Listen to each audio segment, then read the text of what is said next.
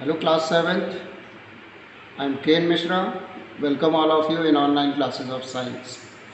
Class at present we are studying uh, chapter number 4 which is heat. Heat. This heat is a form of energy.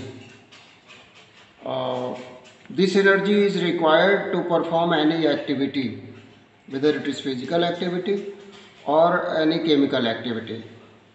Class, uh, it is a common practice, it is a common observation that when we put any utensil on gas stove, then and let it burn, then what happened? After some time, that utensil become hot. Why this is so?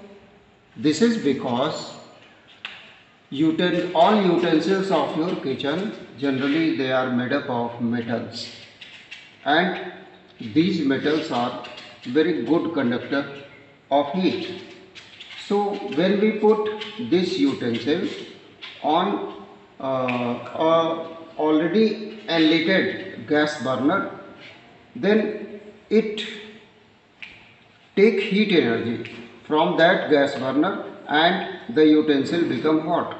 This is a common observation. Now this heat energy transfers from one object to another or transfer from one object to uh, another medium through three methods three basic methods. First method is conduction. The transfer of heat takes place by three methods. First, conduction, second one, convection, and third one, radiation. Today, I am going to discuss about these three methods of uh, transfer of heat from one place to another, from one thing to another thing. Let us know something about conduction conduction. It is uh, written in your book that if you have ever cooked kebabs or tikki on tawa, then you will have discovered conduction. अगर ऐसा आपने कभी किया है तो आप conduction के बारे में जानते हैं mostly metals most metals are good conductor of heat of course there are uh, there are two types of things in our surroundings. One those which can conduct heat through them. These are known as conductors. And second one which are not able to conduct heat through them. These are known as non conductors or insulators. Examples of conductors are all metals, whether they are iron, whether they are uh, aluminium, whether they are copper, all these metals are good conductors of heat and electricity also. But plastic, polythene, wood, all these things are very bad conductor of heat.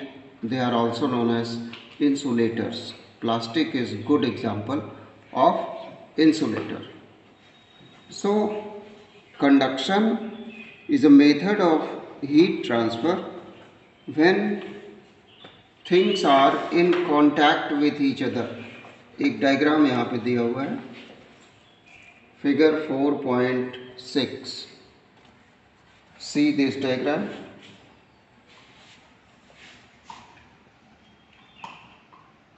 यहाँ पे क्या किया गया है ये एक rod है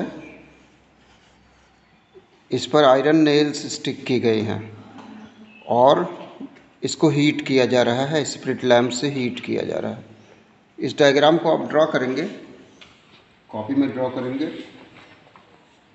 इसमें आ, क्या पता चल रहा है इससे? इससे ये पता एक तरफ़ इसमें लगा हुआ है आपका ब्रास और दूसरी तरफ़ लगा हुआ है वुड बीच में वाइट गम्ड पेपर है। यहाँ पे ये ब्रास है और इस तरफ़ वुड है। बीच में ये वाइट पेपर लगा हुआ है, इसको हीट किया जा रहा है।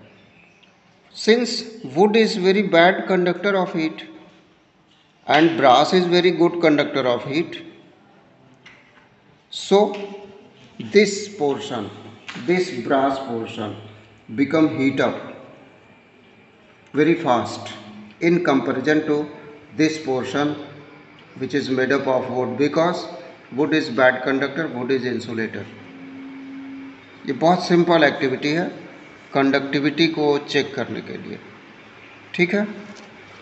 Now this is first method of transfer of heat now second method is convection as retail here second method is convection what is convection convection method से हीट ट्रांसफ़र होता है लिक्विड मॉलिक्यूल से।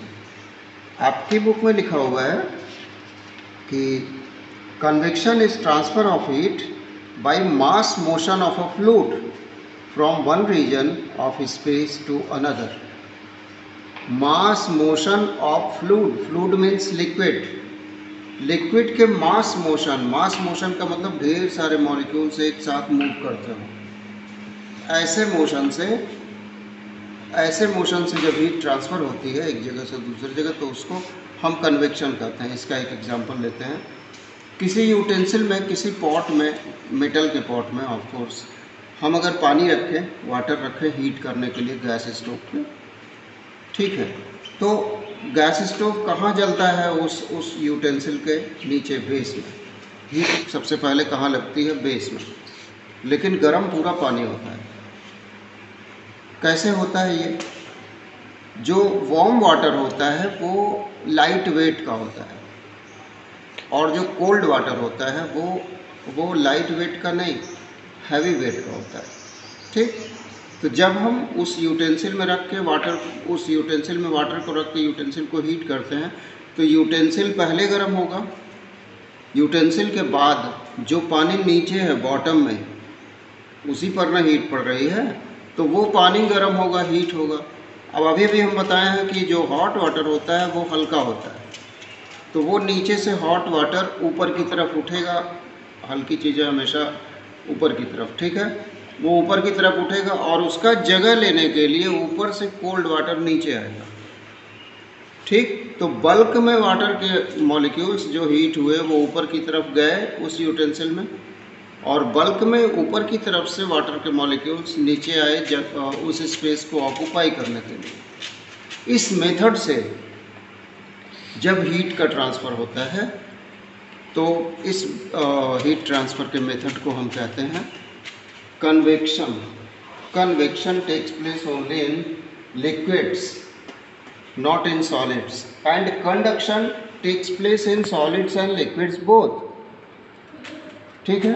आपकी book में एक activity दी हुई है जिसमें पोटेशियम परमैंगनेट के क्रिस्टल्स डाले गए हैं।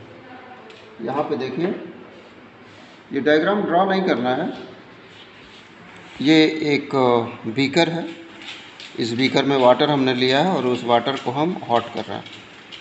ठीक है? इसमें हम पोटेशियम परमैग्नेट के कुछ क्रिस्टल्स डाल दिए हैं। जैसे जैसे वाटर हीट होगा वाटर जैसे जैसे वार्म अप होगा, नीचे अभी जो बताए हैं हम, नीचे का, से वाटर के मॉलिक्यूल्स ऊपर की तरफ़ जाएँगे। ठीक है? तो पोटेशियम परमैग्नेट के क्रिस्टल्स भी नीचे थे। तो नीचे से वो क्रिस्टल्स डिज़ॉल्व होकर ऊपर की तरफ़ मूव करेंगे। इस डायग्राम में देखिए, जो कलर आ रहा है, वो कलर ऊपर की तरफ़ ज़्यादा दिख रहा है, नीचे की तरफ़ कम दिख रहा है। Because at the bottom of this beaker now cold water is present not warm water warm water is present at the surface year because of this reason the colour the colour of potassium permanent is seen at the top of the beaker ठीक है, ये convection है convection और convection का सब convection से जो question पूछा जाता है, आपकी बुक में भी वो क्वेश्चन दिया हुआ है.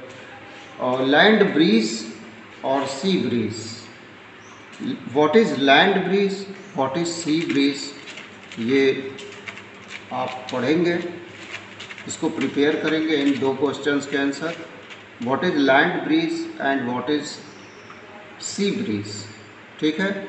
And draw the diagram which I have given you this is your homework this two things share your homework on my personal number before five P M today class this is all for today stay home be safe.